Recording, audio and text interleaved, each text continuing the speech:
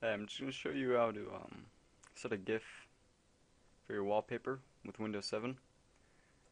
Uh, put a link in here for this. We're going to just download this thing called uh, Dreams, DreamScene, which allows you to, um, well, do this because it's not built in. Now, once you have it, it's always going to run this error for most of the time. You need to uh, run as an administrator so that it can bypass this and actually get to this point. You're, once you enable it, you can set things. Um, uh, here, I'll show you real quick. This is a actual .gif. It just doesn't work. Uh, what this allows is um, to be set. And now, change this back real quick.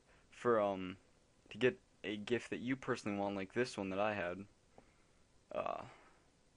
you need to get all the um, different images from this GIF, separate them like I have here.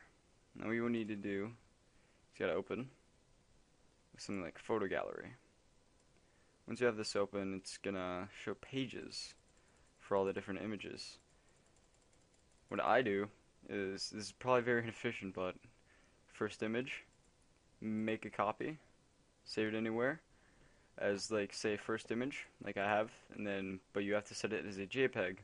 Once you do that go through all nine um, so that you have all of them. Open up something like I just was lazy through a uh, movie maker right here. Put all the images in control A set the duration to 0.10 seconds and save it as a very short little video. So that is a .wmv like I have here and then you can set it as your desktop background. Alright, thanks for watching.